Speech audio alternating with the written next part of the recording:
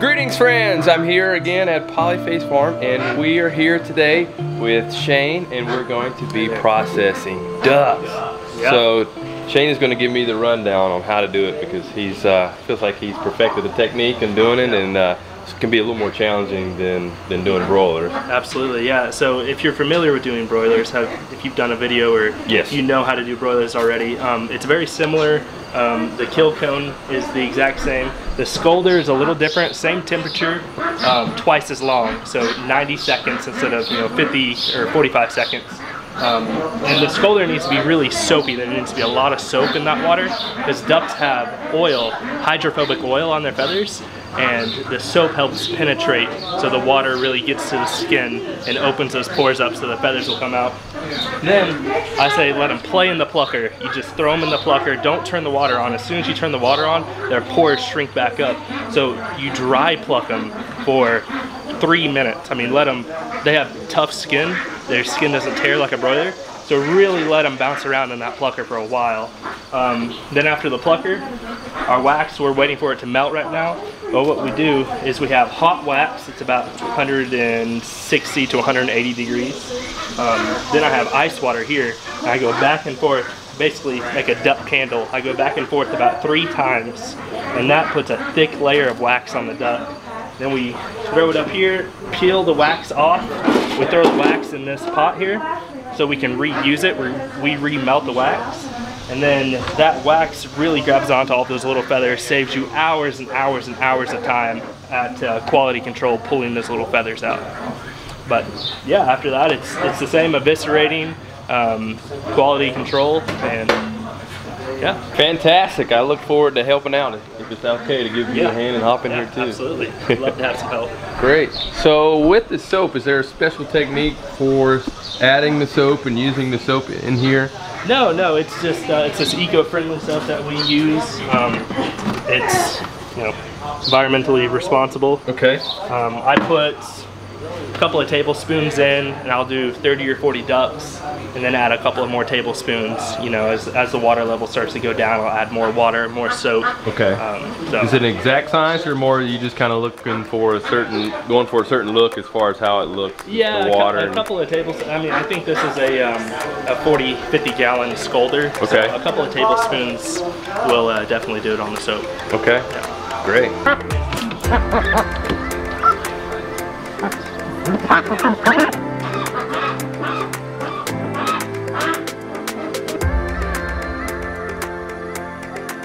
So I learned what I know about ducks from Greg at Gunthorp. He's up in Indiana, um, in between Chicago, um, in that area. But uh, he, I, I went up and watched him. He, he taught me everything that he knows. I watched him butcher a thousand broilers and 500 ducks in four hours. Wow. Yeah, yeah, it was That's impressive. crazy. That's efficiency too. How Yeah. many, uh, a crew of how many to do that? He had, you know, 30 people. Okay. But But that's and still, a that's- very large facility. moving. But That is great. uh, two scalders that were twice, each of them were twice the size of this one. Wow. Wow. Yeah. And the breed of duck that you have here, are they Pekin ducks or? Yeah, okay. these, these are Pekin, Okay. domestic Pekin.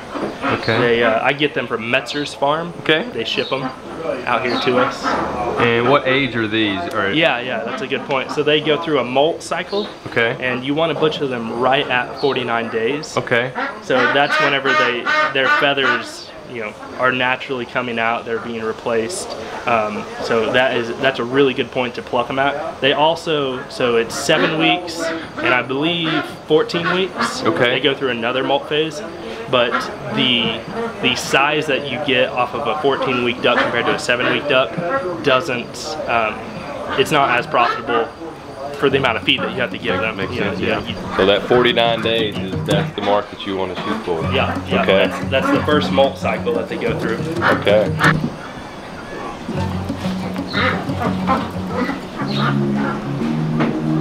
She had to turn me up, she's gonna have to get me set up. He can't tie behind himself. Thank you. What temperature did you say for this one again? Um, Same This as is 145. 145. I like to get my arms wet before I start this because it the blood runs off. Okay. It doesn't. You don't have to pull all your arm hair out. Clean it up. And I grab them by the feet, the wings. Okay. That makes them feel secure so they don't, you know, as, as comfortable as possible. Yep.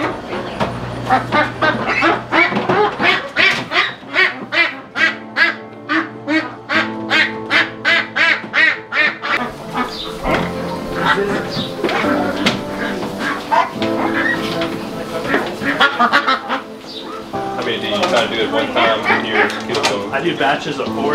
Okay. So they're 12 pounds. Just fill them all up, let them all drain. By the time I get the last round done, the first batch is dead.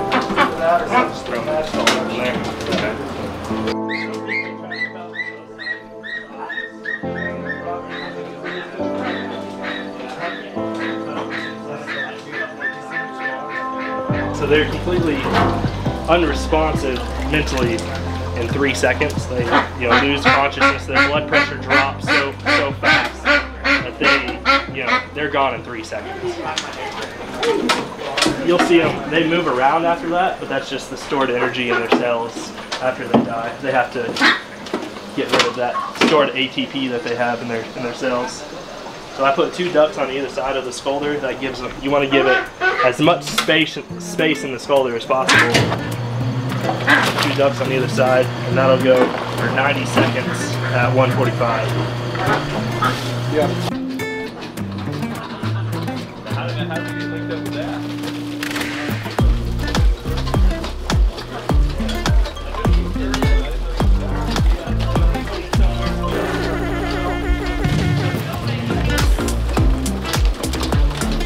So just like you mentioned earlier, the ducks, since they're a little tougher, are able to withstand being in the plucker a lot longer than your broilers are going to be. So you run a little bit of water at the end. Yeah, just to just to clean them off a little bit. Okay. That's, I mean, that's for a duck without wax. Man. That's about as good as you can ask for. Man.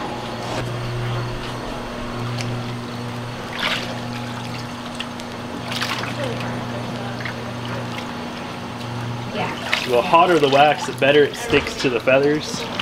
But the thinner the layer is on the duck.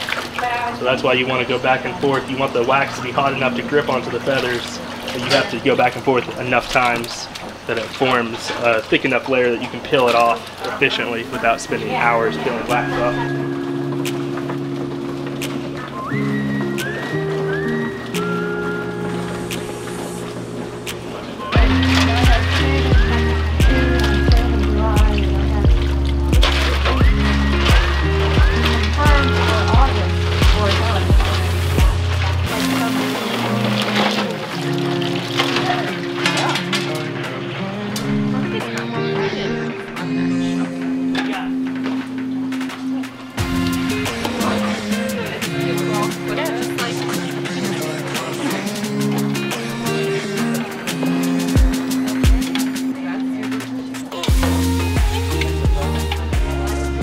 With ducks, the benchmark is five ducks per person per hour. Okay. So it takes four times as long. So instead of having a continuous flow, you have to do it in batches. Okay. You don't want the ducks. You don't want rigor mortis to set in with the ducks Ah. because the um, the process is much less efficient.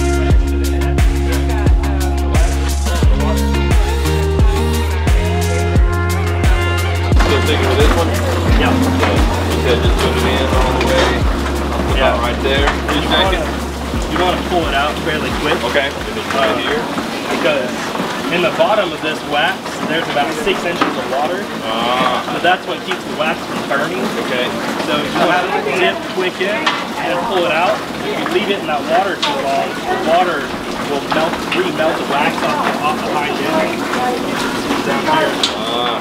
So it's, Quick. Just really, really, really quick in. And how long are you letting it sit here? about two or three seconds. Okay. See how the wax is. Takes on here.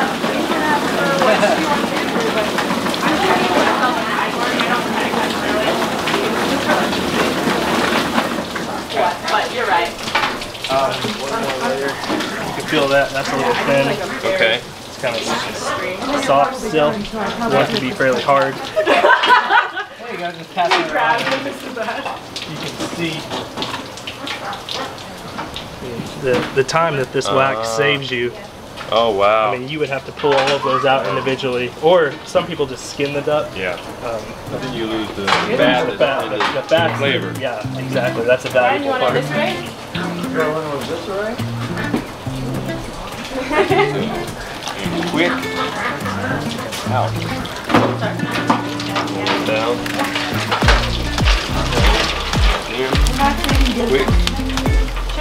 Said you guys- Do I just grab one? Or Yeah, you kind of want to wait for it to uh, feel and make sure it's cold. Yeah, if it's, you can feel it if it's hard like that. Yeah. Alright. Then I take the wax, dump it back in. We repeat this through the whole cycle.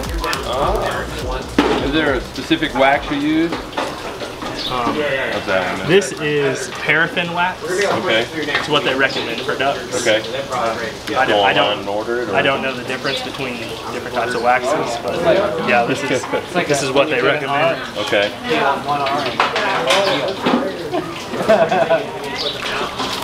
At what point are you looking down here at the team that's uh, eviscerating to know when you need to start going again? Um, so I'm looking for if we have with this system that I've set up, we have two people pulling wax, two people eviscerating, and then two or three people quality control. You know, Okay. they- If the wax misses a feather, they pull it out. Okay. They tuck the legs. They make sure everything is, is you know clean and done. Um, with that system, I'll I'll do you know I'll wait until there's a couple of only two or three ducks left in this wax. Okay. And these ice tubs right here, and then I'll go back and start. Gotcha. Because it takes about five minutes to get them to here, and by the time they go through three ducks, I'm, I'm back at the station dipping again. And for today, how many ducks do you have total? 81. 81. Okay.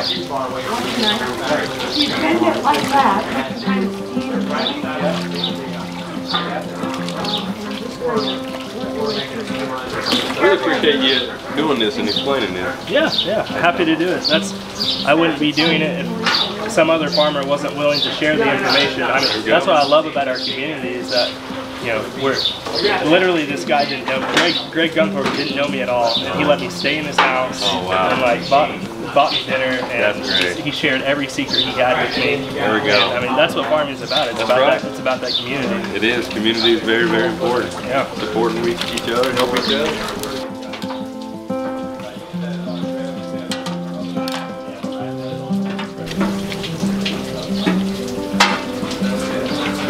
Means, okay, this one's done. Just trying to get it all nice and clean. Makes it look a little bit nicer. Well, I was starting a new bass, and then one of them was just a little bit smaller, slid right out of there. it made a splash, and got just a little bit of blood on me, but at least you can tell I've been working today. He looks like he's been part of a massacre. and we still have to drive home today. Maybe we'll just hose him off outside before he gets in the car.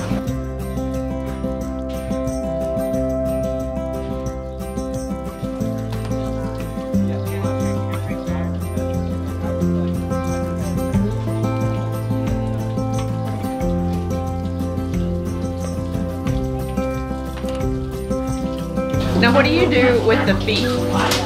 So the feet make they have a lot of collagen in them, so they make amazing stock. Okay, so Yeah. just like chicken feet, Yeah. you save the feet for stock. Yeah, exactly. And um, we have the ability to save the head and the gizzard and the heart, and that all goes to a dog food company, and they you know grind it up and make dog treats out of it. Um, so it's you know, essentially a profitable waste product. So it's interesting how I gravitate to the same station that we had back when we processed our chickens, even when we were doing the processing with Sow the Land. Uh, but it's okay, I, I do, I can't say that I necessarily want to do this, but this is the station that I kind of like to do as far as the, the processing of, of uh, chickens and, and now ducks here. Pretty interesting. so in the last couple batches, we've had a little more feathers that are staying on there. So Shane just added some soap. Uh, so hopefully that will help get remove some more of the feathers here. Yeah, listen to what the duck is telling you. That's whenever you look in the plucker and the ducks aren't coming out as well as they should, you know there's something wrong upstream.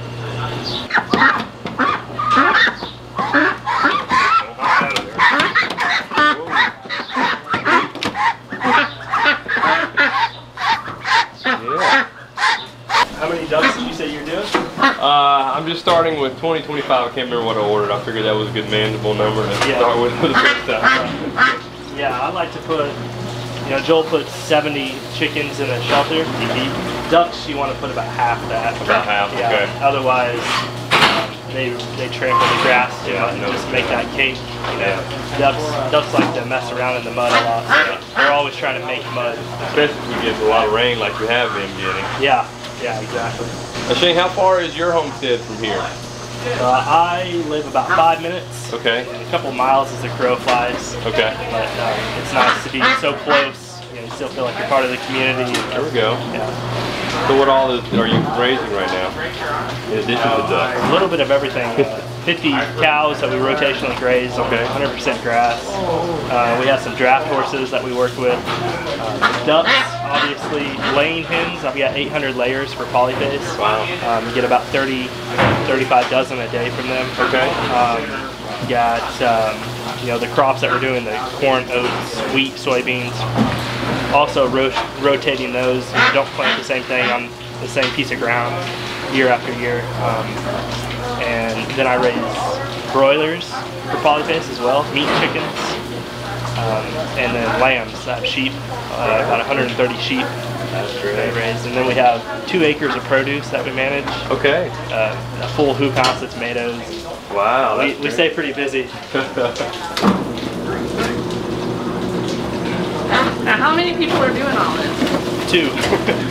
yeah, me and my fiance. wow. We thought we did a lot. No. We still have to plan next time we come up here to check out what you're doing and the work Yeah, you're doing. we'd love to have you out. Because he's even growing wheat. Exciting. Yeah. Yeah. Like a third of an acre of potatoes. Wow. We're doing it. A third of an acre of sweet corn. We're about to put in some berries, you know, some fruit, try to jump into the fruit game a little bit. So the farm that I manage is Tai Lopez's farm. Okay. So I'm, I'm, I'm the farm manager there, and I also contract with Polyface. So I manage Polyface's livestock at Tai's farm. I manage Tai's livestock, and I also have my own personal livestock. So I kind of have three different jobs. Yeah. Wow. So in other words, he's got a lot going on, but it sounds like he's managing it well. I wouldn't trade it for the world. Yeah. Yeah, yeah.